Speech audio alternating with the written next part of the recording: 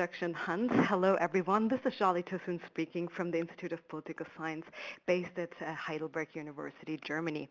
Uh, I feel very honored to be able to talk to uh, such an international audience here and uh, to familiarize you with um, a, a, recent edited book uh, project, uh, which is called Energy Policymaking in the EU Building the Agenda, which is also the title of today's presentation. And I will kind of familiarize you a bit with what we wanted to do in this book and uh, give you an overview of policymaking in the European Union, but also more specifically with regard to energy issues. So um, effectively, I, I, thought just to break the ice a little bit, I should use um, a graphical summary of what, we, what this topic is going to be about. So on the upper uh, side of the slide, you see um, um a large uh, electricity generation plant, which is based in my hometown of Mannheim. And uh, this is just one example for uh, many ways how electricity or energy is produced in the European Union and elsewhere. And I'm interested in how policymakers policymakers address energy-related issues, but also at the same time how the decisions taken by policymakers affect how energy is produced, distributed, and consumed. So this is effectively um, a very concise, a very dense summary of, of our today's topic. So the structure of the presentation looks as follows. First of all, I will give you um, uh, a more detailed introduction into, um, into today's topic, which involves an overview of the key concepts I'm uh, talking about, what uh, agenda shaping in the EU is effectively about. Then I will give you a little bit background information on energy policy, um, not in the EU context in general, but more, more, more, uh, more generically. And then um, I will outline the research questions that we address in the edited volume and to which I will turn um, at the end of this presentation when we turn to the conclusion. But in between that, we will talk about the development of EU energy policy, about EU politics to provide you a solid background of, of what we are doing here, then um, the dynamics of energy policy making in the EU, and uh, well, before we draw a conclusion, I thought it would be worth to familiarize you with the findings we, um, we obtained in the process of putting together the book. So this is uh, what we uh, what we had to, um, what we what we're heading to, and I think we just dive right into the presentation. So um, as an introduction, I think it's always useful uh, to define key concepts, and I'm not so sure how familiar most of you are with the with the key term I'm going to use today in, in many variations, actually, which uh, happens to be agendas. Um, more specifically, we will be talking about political agendas, which refer to the set of issues that are the subject of decision-making and debate within a given political system at any one time. That's a definition which can be tracked back to uh, Frank Baumgartner, um, published in 2001. So um, perhaps this might uh, sound to you like a very trivial process in a way. Um, like, of course, there are many issues out there, and they all kind of receive some attention, some more, some less. So why should we really worry about this? Why, why should this be worth analyzing? So um, there are a couple of uh, points we need to bear in mind, which kind of already um, provide an answer to my question here. So first of all, there is a huge number of issues or social problems and policymakers, um, as any other um, individuals, uh, face constraints in terms of resources. They cannot commit all their um, attention to this one topic uh, or all topics that are out there, but they must prioritize. So um, what kind of matters in this context is like how much political attention is given to um, a different set of social problems. And if uh, political attention is not given to a sufficient degree to a certain problem, then it's not taken up in the policy process, and then um, no further policy action can take place. So um, it is important uh, from a perspective of political steering that we manage to get some attention to social problems so that a policy process can start. And this is essentially what the agenda setting process is about. So um, as just continuing, we should be a bit more specific about like uh, the the two kinds of political agendas we are dealing with today, but also more generally. The first one is called the discussion agenda. It's it's the broadest agenda, and it involves all kinds of issues which are debated in society, usually consisting of rather broad concepts and ideas. So when I'm talking about discussion agenda, I mostly refer to um, news in the media about public public debates um, about uh, anything people could uh, could express their views on, and also digital media, of course, as we are just experiencing today.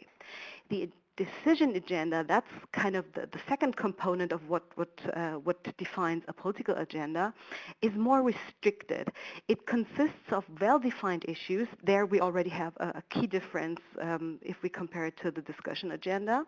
And these issues are up for serious consideration by decision makers. And uh, well, some decision agendas are very restrictive, others are broader, but they all have in common that um, issues that are on this agenda are seriously consulted for, um, for being addressed in form of a public policy response. The decision agenda is motivated and influenced by the discussion agenda. Um, so we do have um, a relationship between these two agendas. But uh, we should also keep in mind that there's not just one political agenda and not just one discussion agenda or one decision agenda. There are several ones. So for example, um, if you live in a federal system, like in Germany, for instance, you don't have um, a political agenda only at the federal level, but also at the level of the 16 states. Then you can have discussion or decision agendas at the local level. So there are actually many, many agendas out there. And the fact that we do have many agendas actually can also constrain um, the possibilities issues have to, to be placed on the agenda at, at another level. So the relationship between agendas is really complicated to, to put it, uh, to make it short here. I tried to summarize um, the, the main um, like the, the essence of, of what, what I just tried to explain to you with this graph. So the starting point of any um, agenda setting process is that we have a so-called universe of problems. In this illustration, the universe of problems consists of the elements A, B, uh, D, E, F, and G.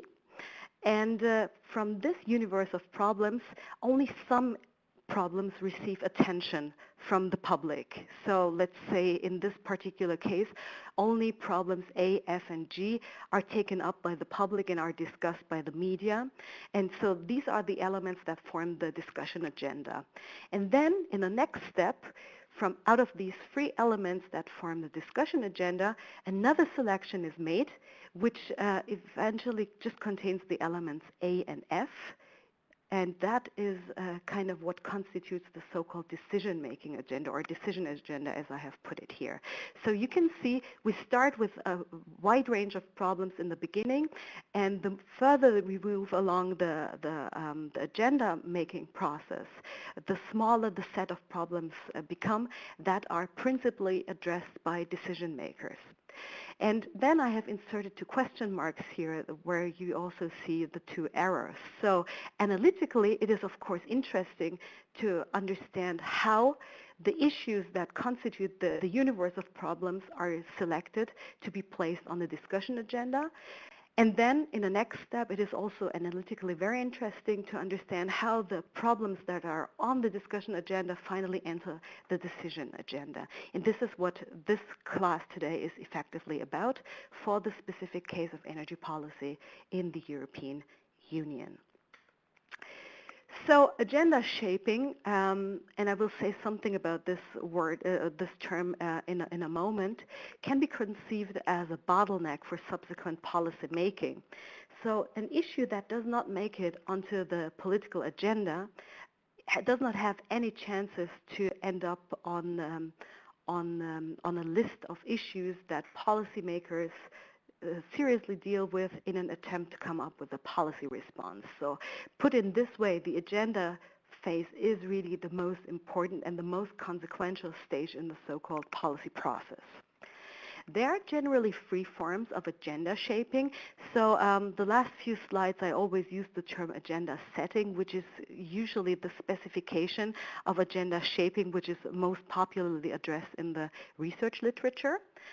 Um, but effectively, um, agenda setting is just a subcategory of the more generic uh, process of agenda shaping at least according to Jonas Tallberg in a paper which he published in 2003.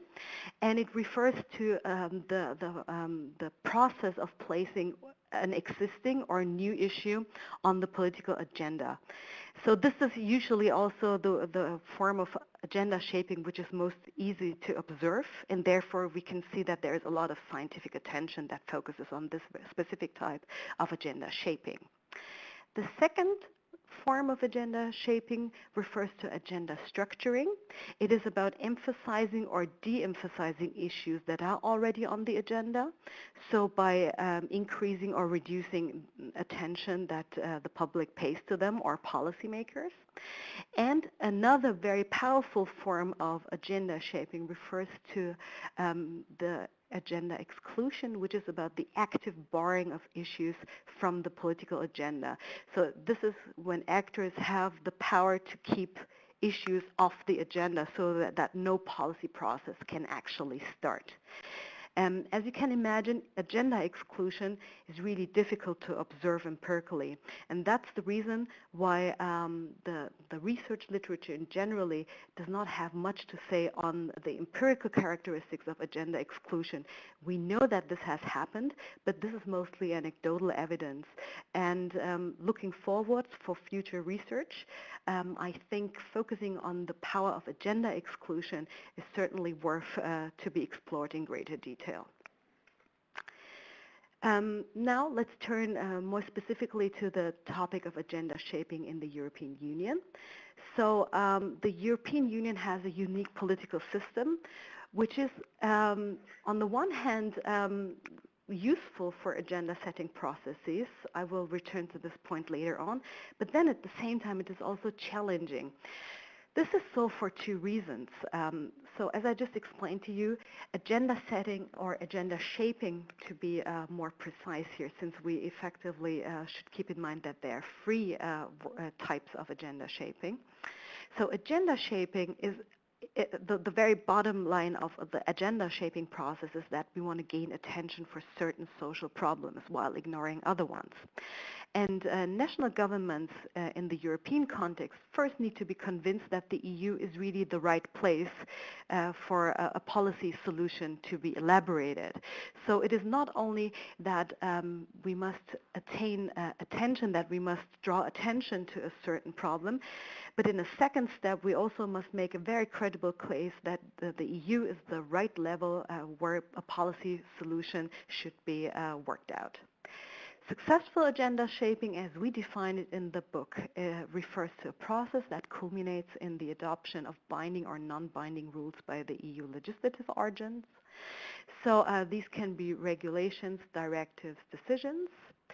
And uh, unsuccessful agenda shaping refers to a process where no rules are adopted by the EU organs. Um, I think there is a mistake in the in the slides here because the recommendations and the opinions are also non-binding rules. So please uh, move them up when you when you take notes um, based on this on this presentation.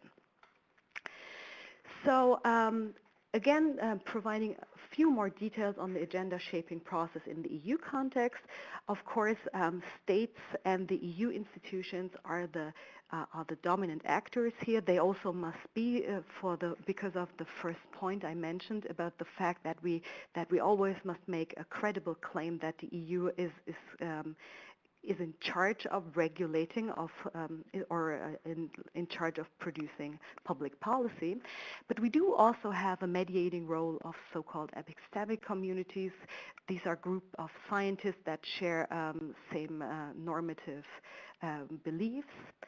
We also have um, non-state actors such as non-governmental organizations. We have citizens.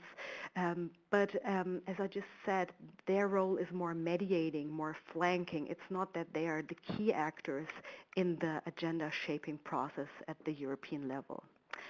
And uh, what we should also take in uh, mind is that when we talk about the European Union, there is not an immediate link between the discussion agenda and the decision agenda. But that has to do with the fact that we don't have a European public as much as we have national publics. So for example, we don't have a European newspaper. We have national newspapers where we can see um, what, what the national public debate looks like. But at the European level, this is much more complicated. So the link between the discussion agenda and the decision agenda should be weaker than in the national context. And uh, the thing is also that because uh, the EU is an artificial construct, some say um, the EU is a political system sui generis, it has some very specific characteristics, uh, therefore it needs to legitimize itself quite often. And uh, because of this need to legitimize itself and the actions taken or non-actions um, it's very, um, the, the EU always feels under pressure to document what it is doing. And uh, so um, it is actually a, a, good case for studying whether agenda shaping has effectively led to a policy outcome or not. So therefore, it is a very instructive case for the purpose. Now uh, we should talk a little bit more about the field of energy policy. Um, I would think that most of you are mostly interested uh, in the energy policy component of the presentation. And policy um, in, in, with regard to energy issues has one very important characteristic, which refers to its boundary spanning nature. So energy policy is not only about energy issues, but it has uh, many implications or is affected by decisions taken in the domains of economic policy, environmental policy, security policy, or more generally international relations, and as I will also argue later on, social policy. Therefore, um, this particular policy field provides many more interesting insights uh, than other uh, policy areas for which uh, we have policy activities at the European level the fact that it is a so-called boundary spanning policy field um, also means that a large number of actors are involved uh, in energy policy and they come from different sectors. So some have a more economic background, others have an environmental background or, or a security background. And so this kind of indicates that um, we should observe a wide range of strategies that these different actor groups use. The third point to make about um, energy policy is that it is a very dynamic field. It, it has become, this was not always the case, but it has become subject to intense public and political debate. So if you just think back of uh, what the Fukushima incident uh, started in Germany, the, the nuclear power phase-out, for example, this had to do with the uh, intense public debate or um, controversy about the use of nuclear power, for instance. And so um, what we are currently observing in Germany, um, a, a, complete transformation of energy production and consumption. This, this is kind of very indicative of uh, the fact that this is a dynamic field where we have uh, a public which pays attention to uh, decisions taken with regard to energy policy, and then also policymakers that respond to public demands with regard to energy supply and consumption. And um, the energy policy has also um, experienced a quite remarkable development in the European Union, both internally and externally. So we can see that um, with regard to the internal dimension, the number of laws that address uh, energy issues has grown over time. Um, and what is perhaps even more remarkable is that today the European Union is actually influencing countries that are not even members of the European states by means of an international organization which is called the Energy Community. And uh, what the energy community effectively does is to um, help third states to import EU energy policies, which is quite remarkable that the EU has managed to, um, to become a role model with regard to energy issues. And so um, I think altogether we can say that um, energy policy in the European context is, is quite a success story. Now we turn to the research questions that we uh, pose in the book. So the first research question is, when are energy issues likely to be placed on the political agenda of the European Union? Please bear in mind that, again, this includes the discussion and the decision agenda. Then the second research question is about the actors um, and their influence in agenda shaping and what strategies they use. And the third research question is when does agenda shaping lead to legislative action? So let's take a quick look at the development of EU energy policy. Um, I have just uh, two minutes ago stated that EU energy policy is a success story. In the very beginning, this uh, was not the most likely outcome. So back in the 1960s, um, the European community was very hesitant to produce um, harmonized laws on energy issues. We had um, an external driver that the supply crisis that um, induced the community to adopt legislation specifying the level of emergency oil stocks. But then in the 1970s and early 1980s, not much happened. Things changed uh, with the entering into force of the Single European Act, which uh, provided the legal basis for um, the liberalization of the EU energy market and also by means of institutionalizing EU energy uh, environmental policy, um, the European Commission could use the link between energy policy and environmental policy to propose legislation. So this, this was a very, very important tool that was given to the European Commission to promote um, law projection with regard to energy policy. Then, of course, the Treaty of the European Union was a milestone with regard to policy integration and also the adoption of free packages of directives to liberalize the energy market in 1996, 2003, and 2007 really pushed uh, the integration um, of the European countries with regard to energy policy. So um, beginning in the year 2000, there were quite a number of very important events that took place, which again helped to promote EU energy policy.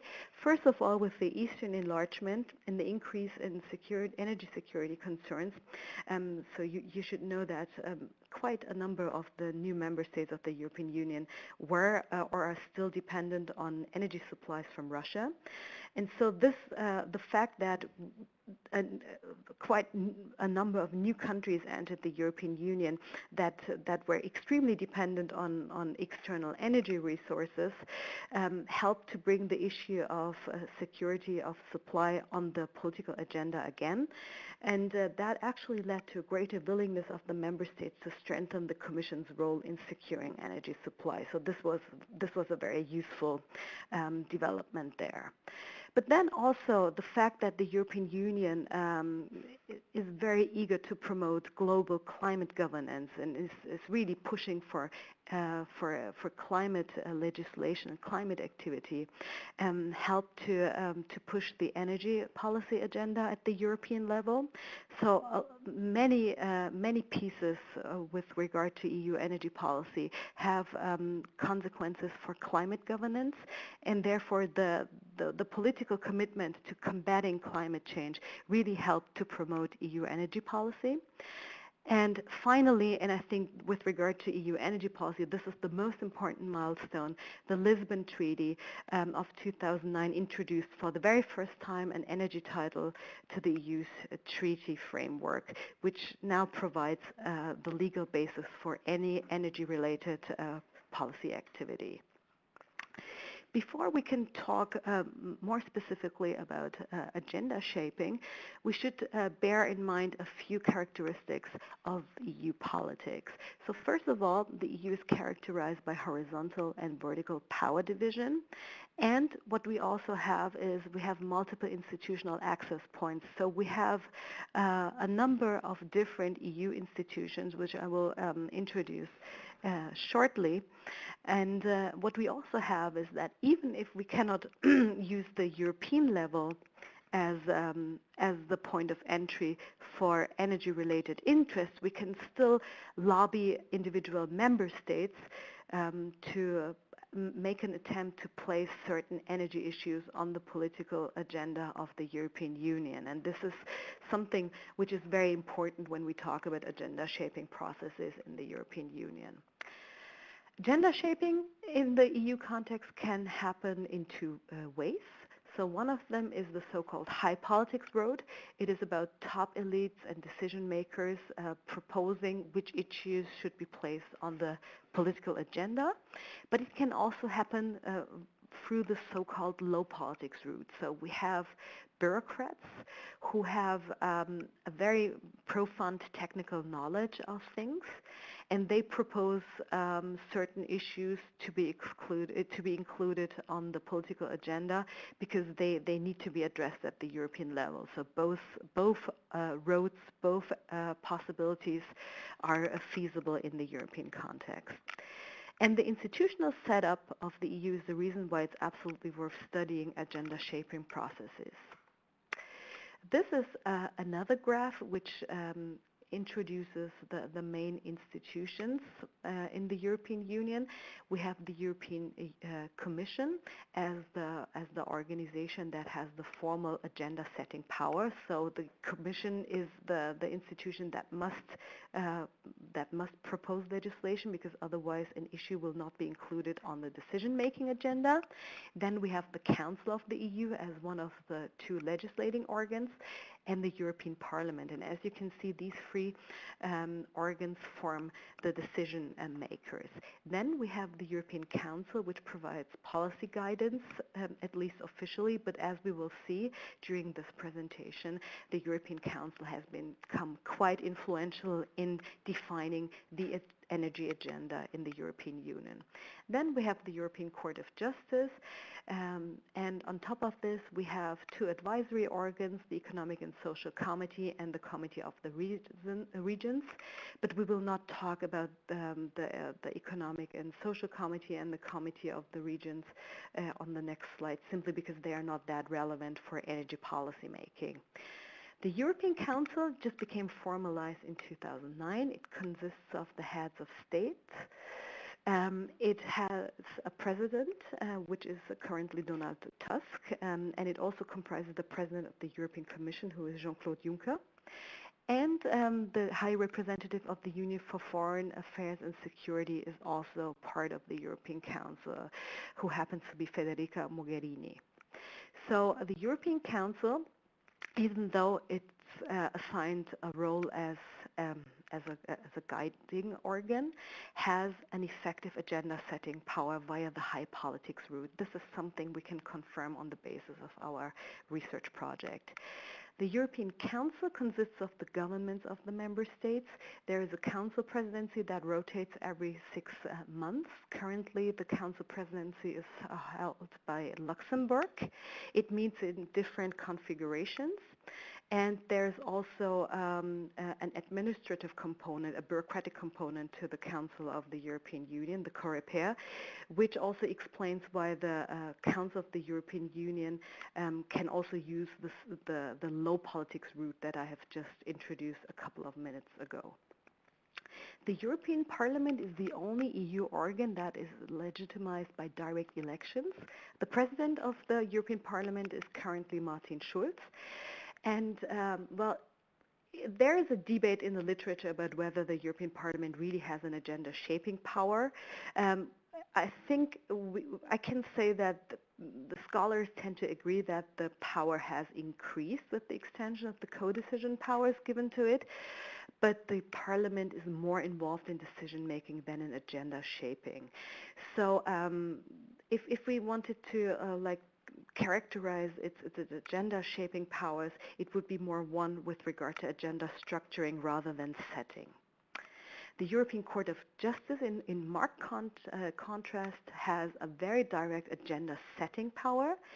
It interprets EU law, and uh, there have been quite a number of very influential decisions uh, that put energy-related issues on the political agenda and then uh, the European Commission with its commissioners um, as the formal agenda setter, the organ that has the monopoly of proposing um, policy proposals. And uh, I think uh, there is not much debate about this. This is totally uncontroversial in the literature that the European Commission is the main agenda setter in the European Union and that it is also the only um, EU institution that has uh, the power to exclude issues from the political agenda. So the European Commission has a, a specific role in the overall institutional setup. And finally, um, and this is also something which was just created by the Lisbon uh, Treaty, um, the European Citizens Initiative. So uh, now um, citizens can request the Commission to start to propose um, legislation if they manage to bring together 1 million signatures from a number of uh, countries. And this instrument was actually also used in the past for energy purposes. For example, there was uh, an initiative which failed because it could not um, it could not meet the formal requirements, which uh, demanded the suspension of the 2009 EU climate and energy package, and it was very much uh, supported by uh, politicians in Poland. But then there are also um, quite a number of other EU um, citizens initiatives where non-governmental organizations get involved. So uh, this new instrument in principle um, gives agenda setting power to the citizens and non-state actors, but it was not used so often uh, that far. And analytically, our understanding is still limited. So um, therefore, I would also encourage more research um, on the European Citizens Initiative to um, better understand agenda uh, shaping processes in the European Union.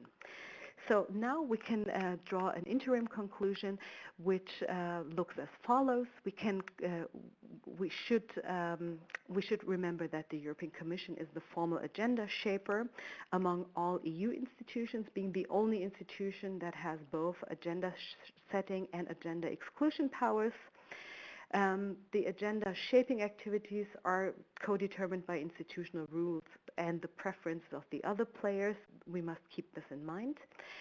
And what is also very important with the uh, formalization of the European Council, the European Commission has ceased to be the only agenda shaper in the European Union, but we ha rather have a situation where uh, we have the European Council that also makes increasing use of its agenda setting powers. And so Bocquillon and Dobbels, um, in an article published in 2014, speak of competitive cooperation with regard to energy agenda setting. Now let's turn to, um, to the edited volume, which uh, forms the foundation of this presentation. I hope you, you enjoy the, the, color, the colorful um, cover of it. And the book consists of uh, four parts in total. Uh, the first part is dedicated to the patterns of agenda building and legislative activities. The second part um, pays specific attention to the Commission as a policy entrepreneur. And this makes sense when you kind of remember uh, which important role the European Commission plays with regard to agenda shaping.